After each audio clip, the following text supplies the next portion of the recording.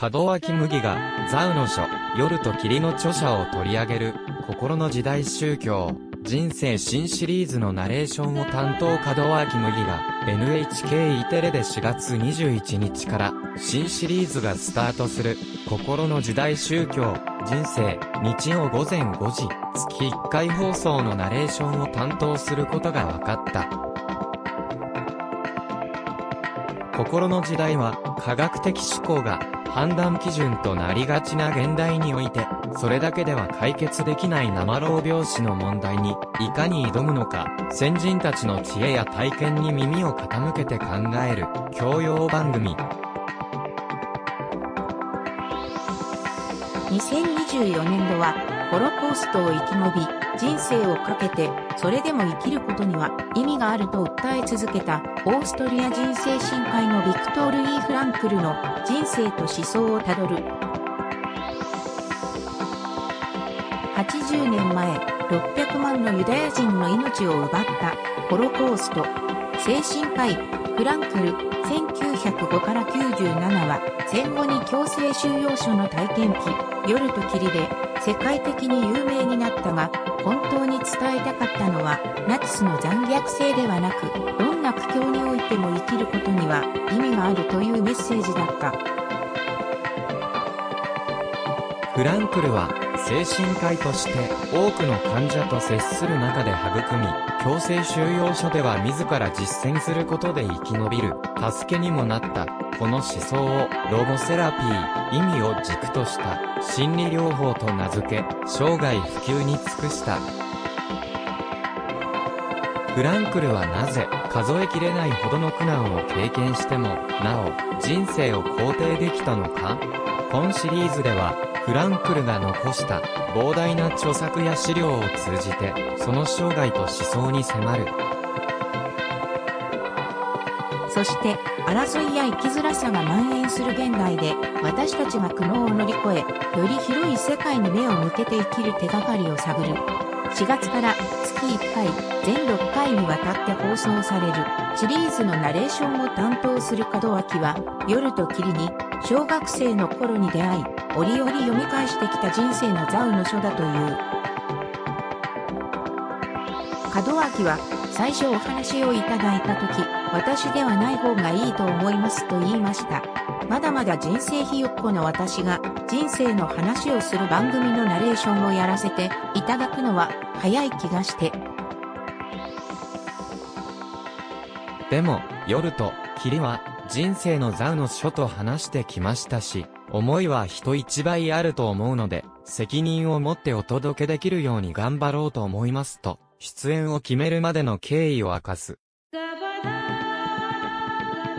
そして、夜と霧のことだけでなく、フランクルの生い立ちであったり、他の書で残されている、哲学的な言葉が散りばめられている番組です。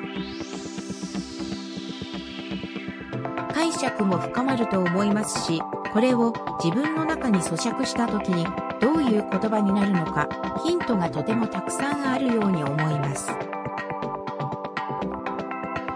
私自身も全6回が楽しみです。いろんなことを考えたり、何かに思いを馳せる時間って意外と日常生活で少なかったりするので、皆さんもこの番組を通して、そういう大切な時間を設けていただけたらと思いますと呼びかけている。組に出演する日本ロゴセラピスト協会会長である講師の勝田千夫氏は、ビクトール・フランクルという名を聞いて、ほとんどの人が夜と霧という本を思い出すことでしょう。今からおよそ90年前にドイツ議会で政権を勝ち取ったアドルフ・ヒットラーは自分の権力を堅固なものにするために政治的批判をする人々を闇に紛れて葬っていきました。そして欧州制覇を目指して巨大な富を得るためにユダヤ人から財産を取り上げたのです。仕事も居場所も財産も失ったユダヤ人の行き先は強制収容所でした。フランクルも家族と共に移送され、4つの収容所で言葉には言い尽くせないほどの悲惨な体験をしたのです。けれどもフランクルは、そのような過酷な運命の打撃の中でも、生きることの意味を信じようとしました。たとえどんな状況にあっても、人生には意味があるということを、私たちに言い残そうと苦悩に耐えたのです。この希望の光を抱いた心理治療、ロゴセラピーについて、誰にでもわかるような言葉でお話したいと思っていますと、フランクルについて解説し、番組へ臨むスタンスを語る。手となる作家、小野正嗣氏は、フランクルは人生から何を期待するかではなく、むしろ人生が私たちから何を期待しているかの方がずっと重要だと言っています。人生から意味を問われているのだと。人生に対して、私たちを取り巻く世界に対して、他者に対して、つまり今自分が置かれた状況に対して、絶望や怒りや悲しみではなく、希望や平穏や喜びで応答できないものでしょうか。その時、私たちの人生は明るく優しい光に満たされるのではないでしょうか。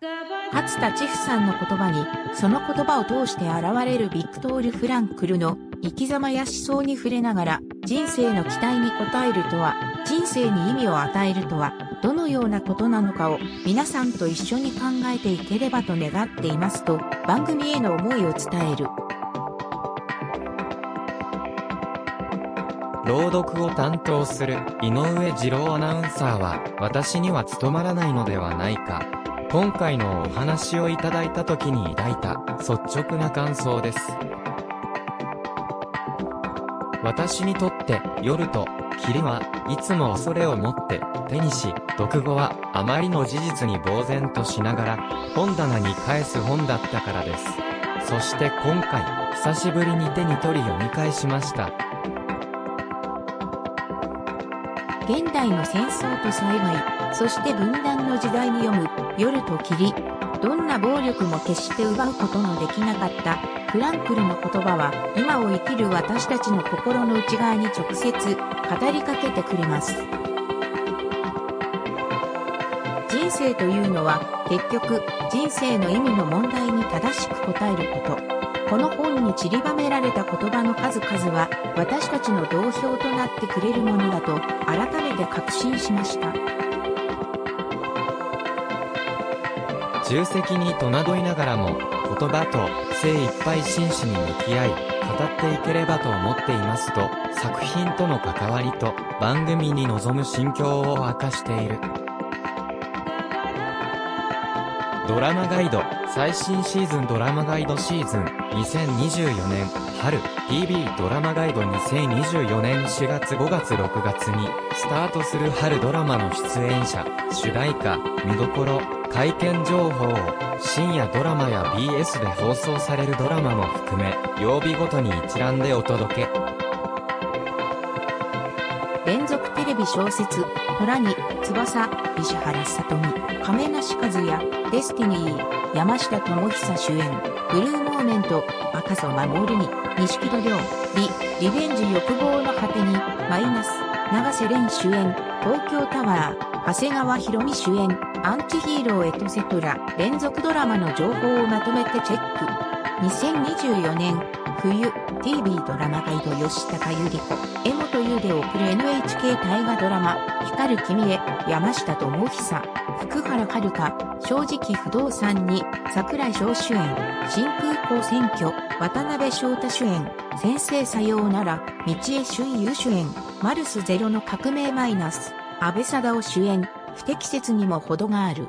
長野芽衣、山田裕貴、君が心をくれたからなど、2024年の冬に放送がスタートする連続ドラマを大特集。あらすじ、出演者や記者会見リポートなどを随時公開